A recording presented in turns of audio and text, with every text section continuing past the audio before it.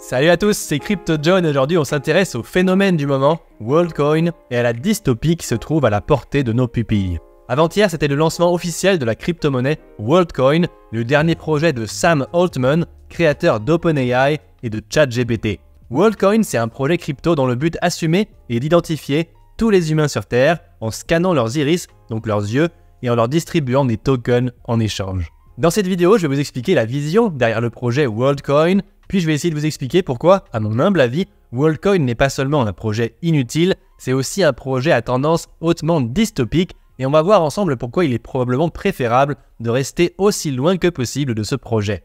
Mais juste avant de commencer, d'abord n'oubliez pas que toutes les semaines je fais des nouvelles vidéos sur les crypto-monnaies, donc n'hésitez pas à vous abonner et à appuyer sur la cloche pour les notifications. Et deuxièmement, gardez bien en tête que tout ce que je dis dans cette vidéo n'est que mon opinion personnelle sur WorldCoin, et bien sûr n'oubliez pas que cette vidéo n'est pas un conseil en investissement. WorldCoin, c'est un projet fondé en 2019 par Alexander Blania, Max Novenstern et Sam Altman, ce dernier étant mondialement connu maintenant pour avoir co-créé OpenAI et son célèbre algorithme ChatGPT. Derrière le projet WorldCoin se trouve l'entreprise Tools for Humanity, ou Outils pour les humains. Après avoir levé plus de 115 millions de dollars auprès de différentes sociétés de capital risque, WorldCoin et son token WLD ont été officiellement lancés avant-hier. Voici comment ses créateurs décrivent WorldCoin sur leur site officiel. WorldCoin est le premier jeton à être distribué globalement et librement aux gens, à la fois pour l'utilité et la gouvernance future, juste pour le fait d'être un humain unique. WorldCoin a l'ambition de créer un nouveau réseau d'identité et financier appartenant à tous. Nous pensons que WorldCoin pourrait augmenter considérablement les opportunités économiques, mettre à l'échelle une solution fiable pour distinguer les humains des IA tout en respectant leur vie privée, permettre des processus démocratiques mondiaux et éventuellement montrer une voie potentielle vers un revenu de base universel financé par l'IA.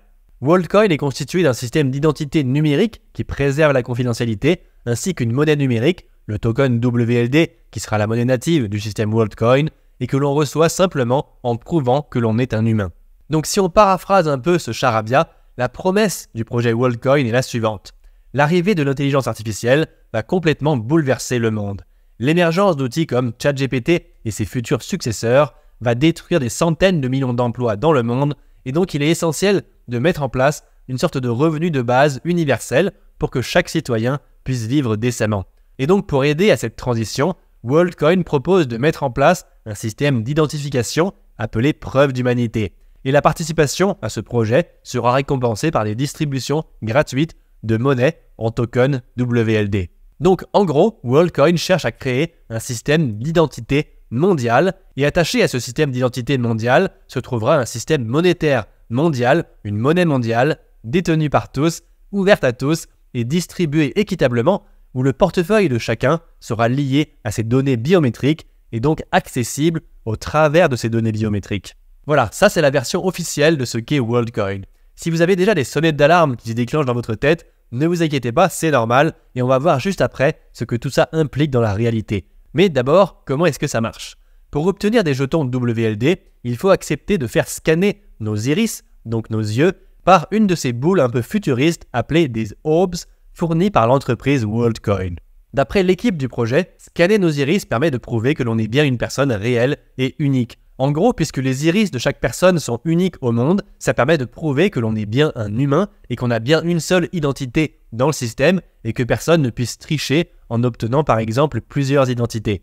Une fois que vous aurez fait scanner votre iris, WorldCoin va vous affecter un identifiant mondial unique biométrique et en échange, l'entreprise va vous offrir 25 jetons WLD gratuitement qui ont une valeur d'environ 50 dollars sur le marché au moment où je fais cette vidéo.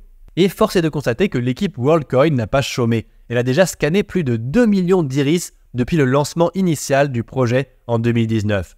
Pour pouvoir trouver 2 millions de personnes acceptant de se faire scanner les yeux pour 50 dollars, qu'est-ce qu'ils ont fait? Eh bien, ils sont allés dans les pays du tiers-monde, et notamment en Amérique latine, en Afrique et en Asie. En gros, ils sont allés là où 50 dollars représentent une somme considérable pour beaucoup de gens. Et pour être plus efficace, l'entreprise WorldCoin a recruté ce qu'ils appellent des opérateurs, c'est-à-dire des personnes, des entreprises indépendantes, qui sont payées pour convaincre un maximum de gens de scanner leurs iris. D'ailleurs, ces opérateurs sont eux-mêmes encouragés à recruter d'autres sous-opérateurs pour accumuler plus de gains, ce qui a en fait une sorte de système de marketing multiniveau qu'on pourrait même appeler une forme de crypto-colonialisme, puisque clairement, WorldCoin se concentre surtout sur des régions pauvres, avec très peu de régulation, des régions où la plupart des gens sont désespérés pour gagner un peu d'argent. Et on peut évidemment supposer que la plupart de ces gens n'ont probablement pas bien compris les implications de voir leurs données biométriques se retrouver dans la base de données de WorldCoin. Quoi qu'il en soit, après cette première phase de croissance, l'entreprise WorldCoin espère maintenant enregistrer plus de 18 millions de personnes dans leur système d'ici à fin 2023 en déployant plus de 3000 orbes et plus de 200 millions de personnes en déployant plus de 19 000 orbes d'ici à la fin 2024. Et d'ailleurs, WorldCoin ne cache même pas son objectif ultime qui est d'enregistrer tous les êtres humains dans sa base de données. Alors, si l'intégralité de ce projet vous semble complètement absurde, voire complètement dystopique, eh bien ne vous inquiétez pas, je pense que vous êtes normaux. Si on ne prend pas le temps de réfléchir aux potentiels problèmes posés par WorldCoin, on pourrait presque se dire Mais c'est génial Dans un élan d'humanité, le créateur d'OpenAI veut maintenant faire le bien dans le monde, il veut redistribuer la richesse et donner du pouvoir d'achat aux plus pauvres, tel un véritable Robin des Bois des temps modernes. Mais il suffit de réfléchir à ce projet quelques secondes pour sentir qu'il y a un sérieux côté méchant de film James Bond dans ce projet, et particulièrement le fait qu'une entreprise cherche à prélever les données biométriques de tous les humains sur Terre et à les stocker dans une base de données unique. Donc, posons-nous la question, précisément, qu'est-ce qui ne va pas dans ce projet et quel problème est-ce que ce genre de système peut poser? En gros, où se trouve l'arnaque? D'abord, les créateurs de WorldCoin nous annoncent que WorldCoin est un système décentralisé. Mais en fait, ce n'est pas du tout le cas. Au contraire, c'est un système complètement centralisé. Que ce soit les fameuses orbes ou la technologie qu'il y a derrière, que ce soit la base de données d'utilisateurs, le marketing, l'entreprise derrière le projet, la distribution des tokens, les règles d'émission des tokens et le nombre de tokens en circulation, toutes ces choses et toutes ces décisions sont faites de façon complètement centralisée. En gros, l'entreprise derrière WorldCoin a le contrôle sur tout le système. Ensuite, le marketing qui a été fait autour du projet nous laisse penser qu'il s'agit d'un système ouvert et inclusif. Mais si c'était réellement un système ouvert et inclusif, alors on n'aurait pas besoin de faire confiance à une seule entreprise.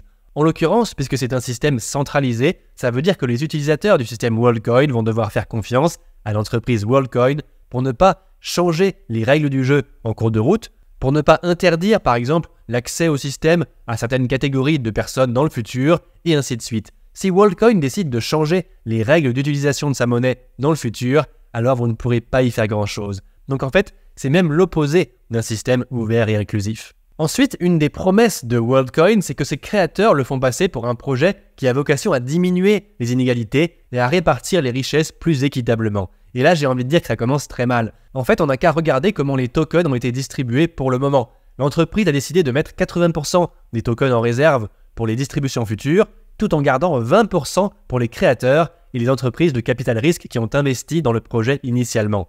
20% qui ont d'ailleurs été ensuite augmentés à 25%. Donc en gros, on a un tout petit groupe de personnes qui contrôlent 25% de la masse monétaire de ce système qu'ils ont eux-mêmes créé et sur lequel ils ont eux-mêmes le contrôle sur les règles. Donc voici ma prédiction. Les créateurs et ces quelques entreprises de capital risque vont faire un profit énorme de plusieurs milliards en faisant ce qu'on appelle un magnifique dump sur le marché, c'est-à-dire en vendant leurs jetons aux petits investisseurs qui voudront acheter le token. D'ailleurs, au passage, c'est précisément ce qui se passe sur 99% des projets crypto. Donc ce que ça veut dire, c'est qu'on est effectivement très très loin d'un Robin des Bois des temps modernes. Et enfin, on arrive au problème qui est le plus important à comprendre, celui de la confidentialité des données. Les créateurs du projet WorldCoin vous promettent que leur système respecte bien la confidentialité des données de ses utilisateurs, parce que, après tout, vous n'avez pas besoin de fournir votre carte d'identité pour vous inscrire. Mais c'est complètement absurde, et c'est bien là le côté le plus dystopique de tout ce projet. L'idée de WorldCoin, c'est justement de venir accrocher votre portefeuille et vos transactions à vos données biométriques. Mais en fait, vos données biométriques font partie de votre identité. C'est votre identité.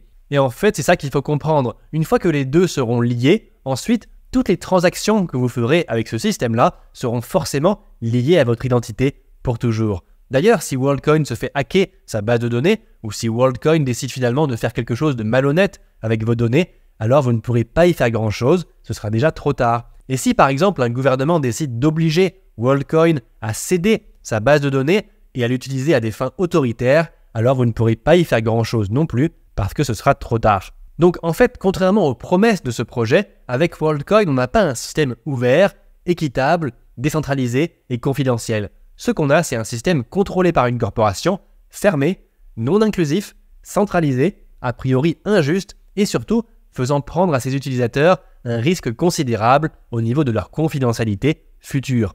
Concrètement, avec WorldCoin, on a un petit groupe de personnes qui contrôlent in fine les règles de la monnaie. Qui a le droit de l'utiliser? Qui n'a pas le droit de l'utiliser? Comment elle est utilisée? Et qui peut en créer davantage? Du coup, voilà les deux grandes questions qu'il faut se poser selon moi. D'abord, est-ce que vous avez vraiment envie de vivre dans un monde où vos données biométriques sont liées à votre argent ou à votre épargne? Un monde où vos données biométriques sont maintenant nécessaires à chaque fois que vous voulez faire une transaction. Et deuxièmement, est-ce que vous voulez vraiment donner tout ce pouvoir à une entreprise qui aura ensuite la main pour prendre toutes ces décisions? Personnellement, non. En réalité, je pense qu'une bonne forme de monnaie ne peut pas être contrôlée par un petit groupe de personnes et encore moins par une entreprise. Pourquoi? Parce que 5000 ans d'histoire monétaire nous ont montré que ça ne marche pas bien. Parce que ceux qui ont le contrôle sur la monnaie, même quand ils commencent avec les meilleures intentions du monde, vont toujours finir par chercher à se donner un avantage. Et d'ailleurs, on le voit déjà, puisque les créateurs et les premiers investisseurs dans le projet WorldCoin se sont gardés 25% des jetons juste pour eux. En fait, WorldCoin recrée les mêmes problèmes que le système monétaire existant, mais en bien pire. Et donc en fait, un système qui serait bien meilleur que tout ça, ce serait une forme d'argent qui pourrait réellement être utilisée par n'importe qui. Une forme d'argent où on pourrait faire des transactions sans avoir besoin de donner la moindre information sur notre identité. Ce serait un système monétaire dont personne n'aurait le contrôle, où personne ne pourrait se donner l'avantage, dont personne ne pourrait changer les règles en leur faveur, ou encore imprimer de la monnaie juste pour eux-mêmes, ou encore contrôler ce que les autres ont le droit de faire avec la monnaie. Si seulement quelqu'un avait trouvé une façon de créer un tel système, ce serait génial. Pour résumer, quel est mon avis sur WorldCoin? Encore une fois, tout ce que je dis dans cette vidéo n'est que mon opinion personnelle, mais je pense que WorldCoin va encore plus loin que les shitcoins classiques. C'est ce qu'on pourrait appeler un shitcoin dystopique. C'est une mélange entre une monnaie numérique de banque centrale avec tous ses inconvénients, combiné avec un système de surveillance totalitaire, le tout contrôlé par une seule entreprise. WorldCoin, en fait, c'est tout ce qui ne va pas avec le système monétaire actuel, combiné avec tout ce qui ne va pas à propos de l'écosystème crypto actuel, combiné avec tout ce qui ne va pas avec les technologies de surveillance futures, combiné en un superbe package dystopique. Le seul point où je suis d'accord avec l'idée derrière WorldCoin, c'est qu'effectivement, le monde a bien besoin d'une référence monétaire mondiale, une monnaie mondiale. Mais attention, surtout pas une monnaie qui serait sous le contrôle d'un petit nombre de personnes. Au contraire, ce dont le monde a besoin plus que tout, c'est d'une référence monétaire mondiale complètement neutre, utilisable par n'importe qui et que personne ne contrôle. Oui, vous l'aurez compris, ce dont le monde a besoin, c'est de Bitcoin qui répond exactement à ces critères. Mais vous, qu'est-ce que vous en pensez? Est-ce que vous êtes d'accord avec ce que j'ai dit dans cette vidéo? Ou au contraire, est-ce que vous voyez le projet WorldCoin d'un œil plutôt positif? Dites-le moi dans les commentaires. Si jamais cette vidéo vous a plu, je vous remercierai de bien vouloir exploser le bouton j'aime pour m'aider avec l'algorithme YouTube. Et enfin, n'oubliez pas que chaque semaine, je fais des nouvelles vidéos sur les crypto-monnaies, donc n'hésitez pas à vous abonner et à appuyer sur la cloche pour les notifications. Merci d'avoir suivi la vidéo, passez une très bonne journée et à bientôt.